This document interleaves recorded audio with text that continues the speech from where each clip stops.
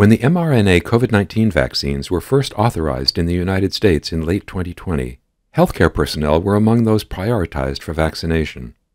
Interim real world data on the vaccine's effectiveness in this group have been published, but longer term data are needed, particularly among subgroups disproportionately affected by COVID 19 or at high risk for severe disease.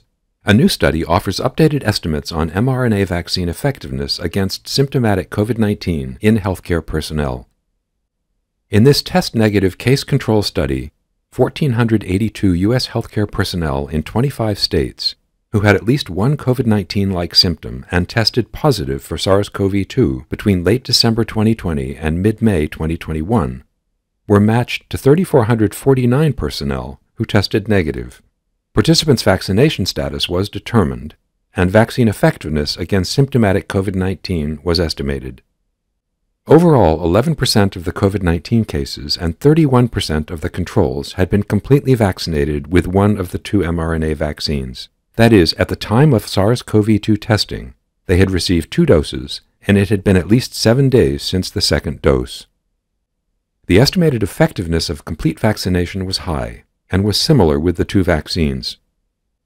High effectiveness was also seen in subgroups according to age, race or ethnicity, underlying conditions such as obesity, asthma, and diabetes, and level of patient contact. For pregnant women, the effectiveness of partial and complete vaccination was estimated, and again was found to be high.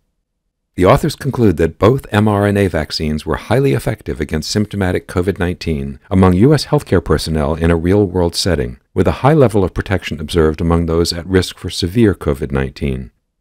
Full study results are available at nejm.org.